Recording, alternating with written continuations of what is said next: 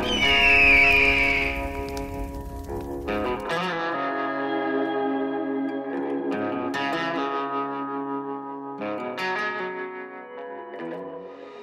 I don't think there's a better way to remember a hunt than having a beautiful meal from that hunt.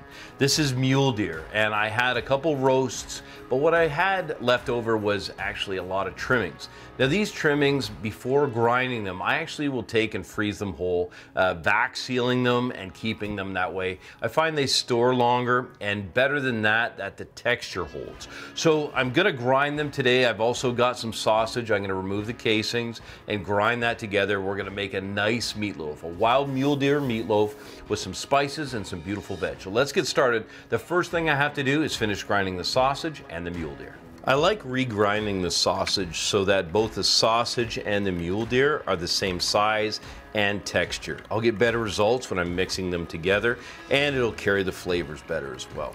Whenever you're preparing to grind, make sure to cube in about inch by an inch or just a little smaller.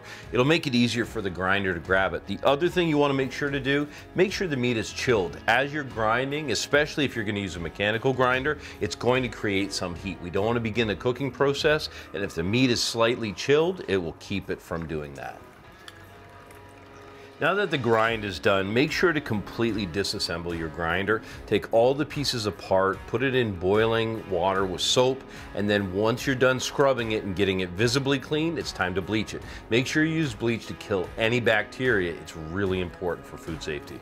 This already smells incredible. You can see the beautiful colors. And so what I'm gonna do is I'm gonna use a large sheet pan.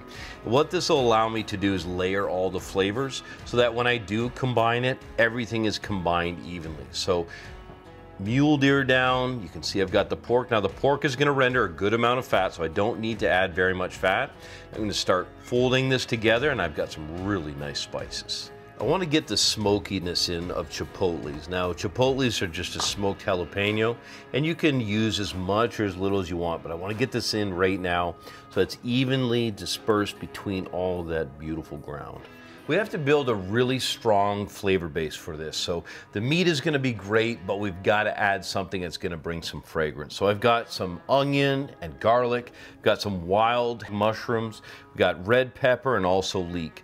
All this together is going to build an incredible base. But there's quite a bit of water in all of these. So what we have to do beforehand, we can't put these ingredients in raw. We have to saute them, getting rid of as much water as possible so that when we do put the meatloaf together, it'll bind really well and be nice and dense. This is a sweet Vidalia onion, which is going to really pair nicely. The sweetness is gonna bring everything together. So I'm just taking the root and the tip off. Then I'm gonna slice it in half. And rather than doing a fine dice, uh, this is short enough and small enough that I can make a long slice. So it's essentially a julienne of onion. Just make sure to take that root tip off so it will come apart. Then don't slice it this way. We're gonna slice it this way. And the reason for that is all of our slices will be approximately the same size. They'll cook the same way and they won't be too long when you're eating the meatloaf. Always be sure to preheat your pan. You can see this one's already smoking hot. You're gonna add a little bit of extra virgin olive oil. Now we are gonna get quite a bit of fat from that sausage, but the reason why I'm adding this is for levels of flavor. So I've got a tablespoon of butter and I've got some olive oil. And the first thing to go in will be the onions. The onions will saute for about 10 minutes. They'll be golden brown and they'll be sweet and they'll be fragrant.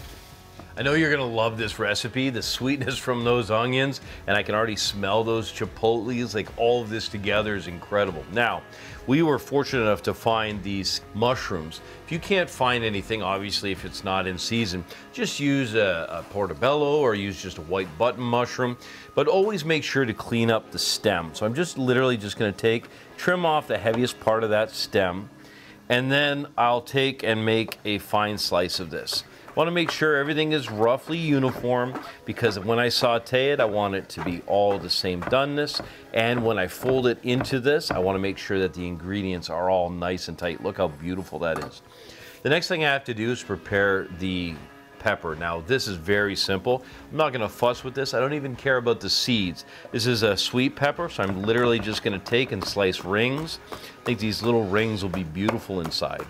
After this, I'll make a fine slice of the leeks and I'll crush garlic and get some garlic in there. As you add each one of the ingredients, make sure each one is fully developed in flavor and you've got rid of all of the liquid that's possible. So you can see now the onions look beautiful. I'm gonna add these mushrooms, give them a stir, saute them, make sure I've developed flavor there, and at each step, just work to get the very best flavor out of each ingredient.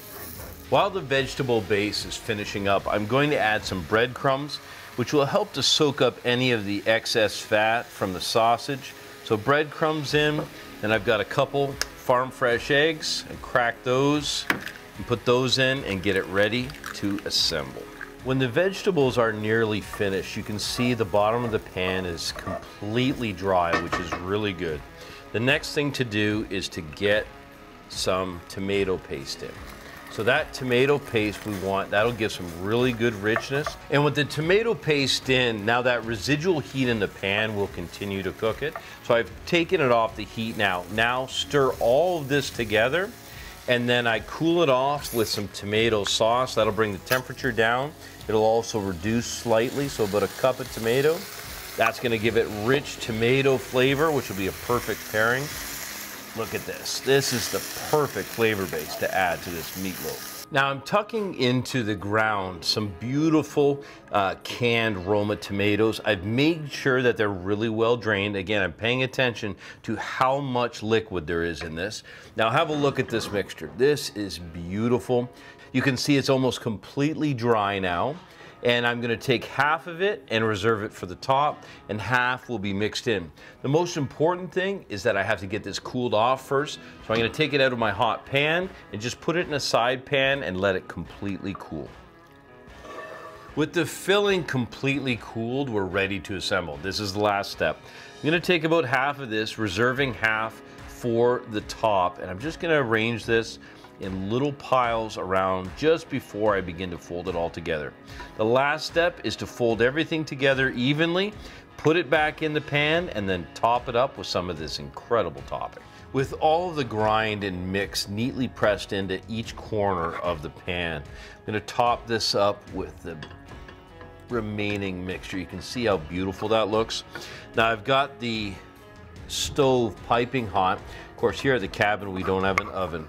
So we're gonna use the fire red coals of a hot burning stove to finish this up. After about an hour in the fireplace, you can see that it's caramelized, it's nicely toasted. All those flavors are concentrated. Now, for those of you who have ketchup on top of your meatloaf, um, this mixture on top will have that exact same, uh, same kind of texture. It'll have that, exactly that same kind of flavor, a little bit of sweetness. And as far as the taste, well, it's smoky, and you get the uh, the mule deer flavor, and it is. Hmm. It's a perfect bite of wild game. You're gonna love this meatloaf recipe.